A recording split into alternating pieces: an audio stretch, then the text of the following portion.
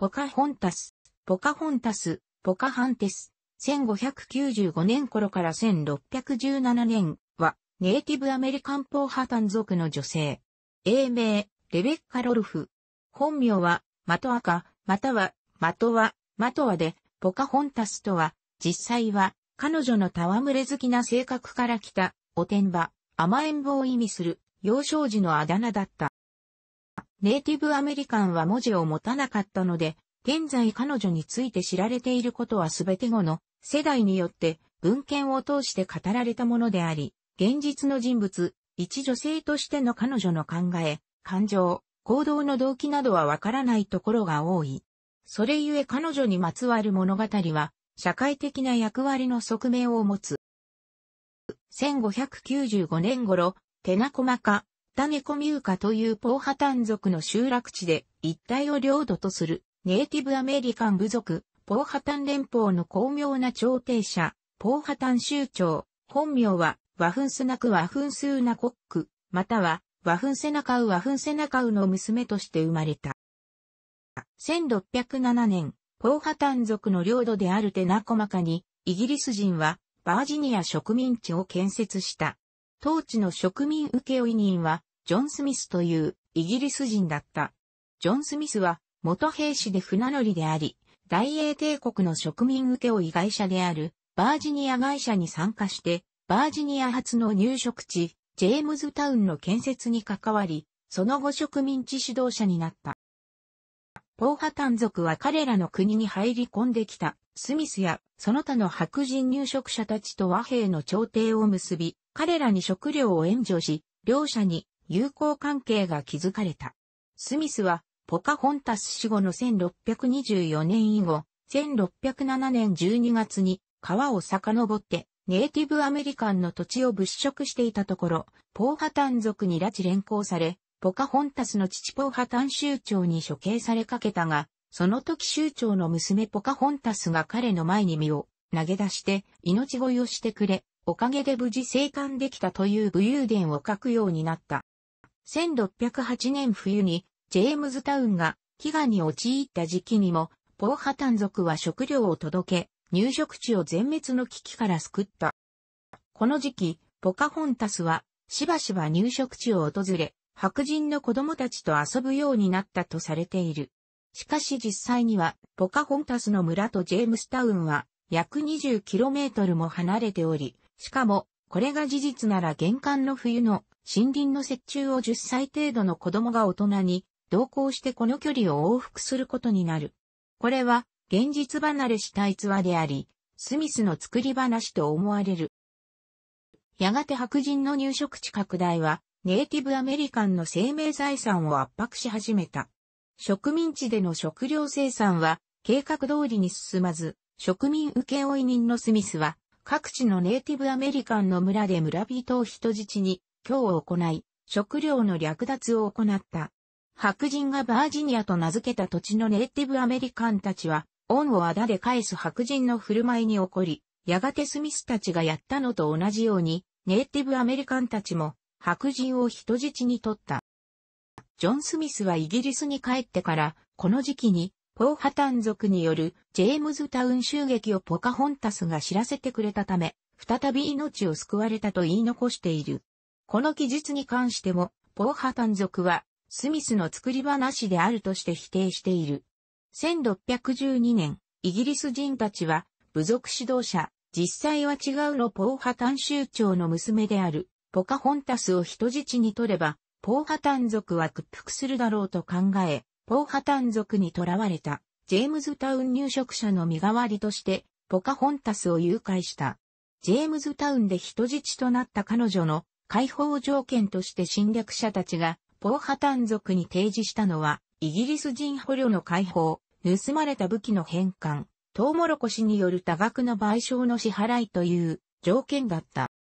彼らはポカホンタスを通訳として役立てようと解放の条件として英語を教えた。さらにジェームズタウンにキリスト教教会を二棟作ったアレクサンダー・ウィテカーよりキリスト教の洗礼を受けせられた。人質だったこの時期にポカホンタスはバージニアにタバコ会社を設立した白人のジョン・ロルフに目をつけられた。ロルフは妻を亡くし、一人身だった。ロルフは1614年4月5日に彼女と結婚し、マトアカの名をレベッカ・ロルフと変えた。イギリス人に捕まる前に、彼女には一族の中に婚約者がいたという説もあるが、ポーハタン族はこれを否定している。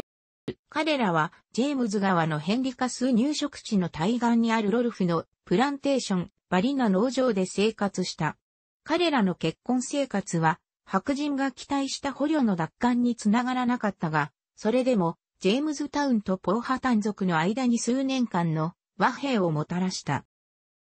バリナ農場で、ポカホンタスは、トーマス・ロルフを生んだが、ポカホンタスは姉たちに、トーマスはロルフの実子ではないと説明している。実の父親はトーマス・デール教という説がある。バージニア植民地の出資者たちは、ジェームズタウンでの入植事業が困難になったことを悟った。そこで、ポカホンタスをマーケティングのための材料にした。これが後世にわたって彼女の知名度が高い理由の一端でもある。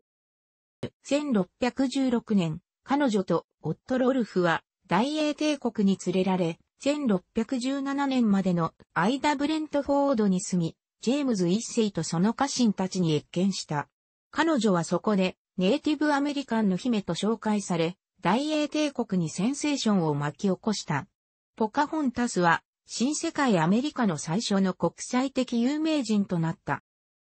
ネイティブアメリカンの州長は王や皇帝とは全く違った立場であり、ポカホンタスを姫、王女と紹介するのは全くの誤りである。ロルフはバージニアに戻ってタバコ栽培をすることを熱望した。ロルフ一行がジェームズタウンへ帰る船旅の途中イギリスのケント州グレーブゼンドでポカホンタスは病気になり23歳前後で死した。病気は天然痘、肺炎、結核など資料により異なる。ポーハタン族とその氏族の一つマッタポニ族は、ポカホンタスの死因について、当時の状況から毒殺された形跡を指摘している。ロルフはポカホンタスを妻にしたが、息子のトーマスは彼の実の子ではなかったし、ロルフは病身のポカホンタスにさっさと見切りをつけて、イギリスを離れたがっていたとされる。ポカホンタスの葬式は、グレーブゼンドの聖常寺教会で1617年3月21日に行われた。後に教会が改装される際に彼女の墓は壊され、現存していない。現在、同教会の敷地には彼女の銅像が設置されている。ポカホンタスの葬式が終わると、ロルフは幼いトーマスをイギリスに一人残し、単身バージニアに戻り再婚した。ポカホンタスの死後、ジョン・スミスは New England's Trials 及び The Generall Historie を出版し、ここで初めてポカホンタスに助けられたという内容が含まれた手記を発表した。その内容は、ポーハタン酋長によって百叩きの刑に処せられ、殴り殺されるところだったのを、酋長の娘ポカホンタスが自分に同情して除名嘆願し、これを聞いたポーハタン州長が刑の執行を止め釈放してくれたというものである。スミスが植民地報告書に書いた美談はロンドン政府にジョン・スミスを部族の友人として納得させるための象徴的なエピソードとして使われた節があると主張する者もいる。19世紀までに野蛮な州長から白人を救ったポカホンタスはアメリカ合衆国において重要な象徴的存在となり、彼女をめぐる多くのロマンス小説は洗礼前から自分たちの文化と似通ったふるいをする友好的なネイティブアメリカンとして彼女を描いた。当時ポカホンタスはわずか11歳であり、しかもジョン・スミスはその年、イングランドから到達したばかりであり、古くからの中ではなかった。スミスもまだその時は、ポーハ単語を完全には理解していなかった。彼がネイティブアメリカンの娘に助けられたと主張し始めるのは、ポカホンタス死後のことである。歴史家のカミラ・タウンゼンド、カミーラ・タウンゼンドは、スミスが処刑されかけたとしている状況を、単に部族採用式などの儀式の一つだったのではないかと説明している。また、儀式の一つだったとの仮説にしても、歴史家アンジェライル・ダニエル、シルバースターは、ポカホンタスは子供であり、子供が、そのような式典、儀式に出席することは許されていいと述べ、この記述を否定している。ポーハタン族は、スミスのこの武勇伝を、全くの作り話として、彼らのウェブサイトで公式に否定している。彼らは、スミスやロルフはポカホンタスを利用し、彼らと友好を結んだ、ポーハタン族を裏切り、食い物にしたと抗議している。スミス以前に1539年にアメリカ南東部を探検したスペイン人のエルナンド・デ・ソトはフロリダで出会ったオランダ人捕虜のフアン・オルティスからネイティブアメリカンのヒッリヒグア町に生きたまま火炙りにされかけたが、州長の娘の頼みで命を救われたという、そっくりそのまま同じ筋書きの真偽不明の話を聞かされており、このオルティスの逸話が、スミスの武勇伝の元根になった可能性がある。ポカホンタスの生前の唯一の肖像画は1616年、オランダ生まれの版画家、サイモン・バンダーパッセにより制作された。西洋の服を着せられているが、彼女のネイティブアメリカンとしての個性は強く残っており、同版画からは彼女の強い個性を感じることができる。しかしこの同版画に基づき一世紀後に制作された油彩画では彼女の服装は同じだが肌はより白く髪も軽い茶色に描かれ全体的に白人に受け入れやすいようにデフォルメされている。また彼女の厳格な眼差しもリラックスしたものに変わり、より上品で文明化された印象を与える。また、当時の思春期までの少女の習俗である全裸で描かれたものも多く、鹿側の衣服に続き、やがてほとんど透明ない服をまとった姿で描かれていく変遷の中、全体として彼女の外観は10代の妖精風からヨーロッパの女性美の理想にまで及んでいる。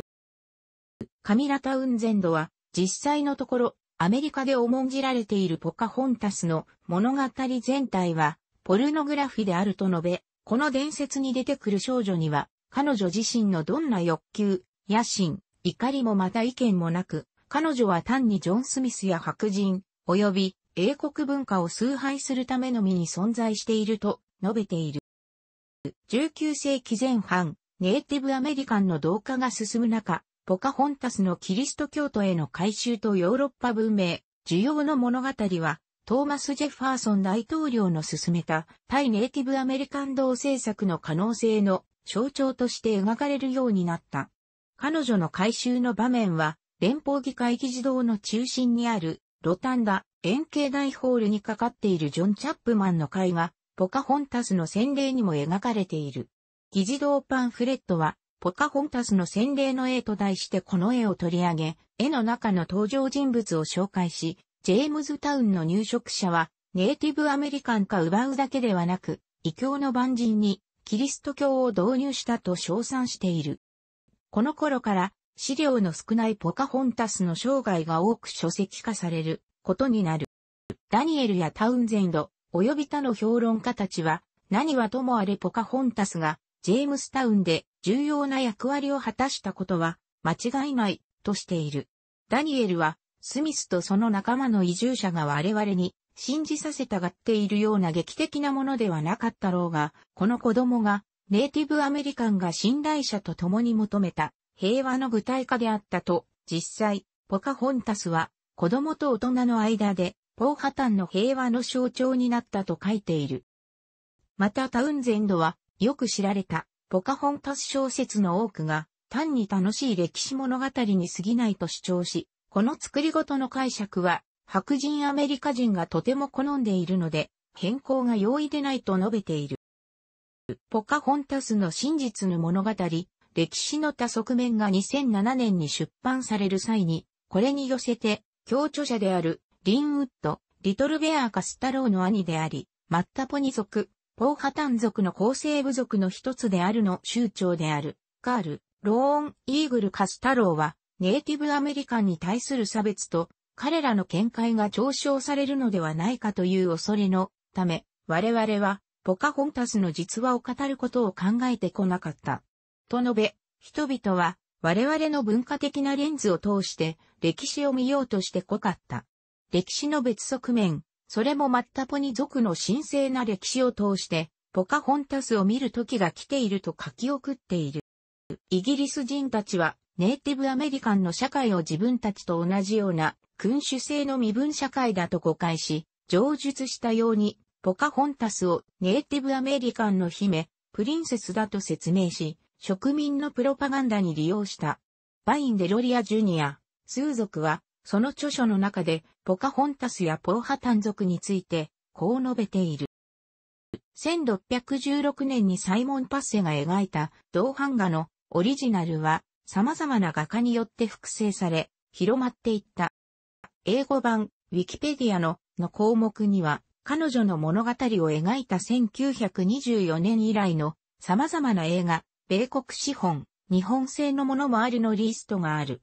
最近年のものには次のようなものがある。どの作品も、ポーハタン州長が部族長のように描かれている。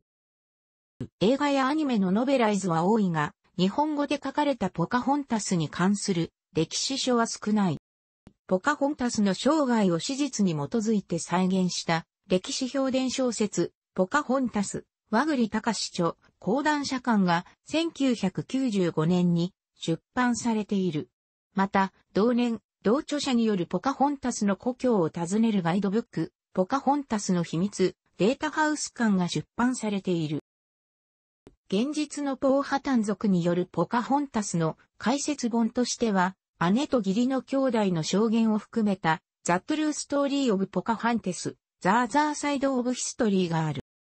現在、ポカホンタスにちなんで名付けられた地名はアメリカに複数存在する。バージニア州、ポカホンタス、バージニア州、マトアカ、ウェストバージニア州マトアカ、アーカンソー州、ポカホンタス、アイオワ州、ポカホンタス郡、ウェストバージニア州、ポカホンタス郡は、彼女の愛称、ポカホンタスや本名マトアカにちなんでいる。バージニア州には、彼女の部族にちなんだ、ポーハタン郡もある。また、ポカホンタスパークウェイ、バージニア州道895号線、ジョンドルフハイウェイ、バージニア州道31号線などの道路や、バージニア州周辺のフェリー、土地会社などにも、ポカホンタスの名は使われている。バリナ農場で生まれたポカホンタスの唯一の息子、トマス・ロルフは、一人娘ジェーンを残した。ジェーンは、ロバート・ボーリング大佐と結婚し、一人息子ジョン・ボーリングを生んだ。彼の子供たちは、赤い、赤肌のボーリング一族と呼ばれ、ポカホンタスとポーハタン州長及びバージニア最初の入植者に遡ることのできる全米屈指の名家となっている。ウッドロー・ウィルソン大統領の夫人イーディス・ボーリングもその一人であり、他にポカホンタスの子孫である者は政治家、ジョージ・ランドルフ、リチャード・バード少将、ファーストレディのナンシー・レーガン、天文学者、パーシバル・ローウェル、ジョン・マケイン議員らがいる。系図学者は、ブッシュ家もポカホンタスと関係があるとしている。ジョージ・ W・ ブッシュ大統領の10代前の先祖のロバート・ボーリング・ジュニアは、ロバート・ボーリング大佐と後妻、アン・ステスの息子であり、8代前の王母のメアリー・ケノンは、ポカホンタスの彦と結婚している。ポカホンタスの直系の子孫であるスーザン・ドネルの著書、ポカホンタス、地区処方文庫、池田真紀子役は、日本でも出版されている。楽しくご覧になりましたら、購読と良いです。クリックしてください。